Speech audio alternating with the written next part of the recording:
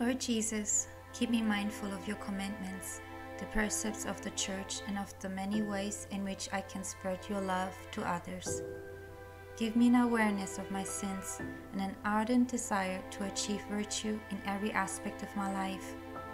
You are my Lord and Savior, and I wish to please you, not only because you are God and you deserve everything that is good, but also because pleasing you assures me of happiness in this life as well as in the next.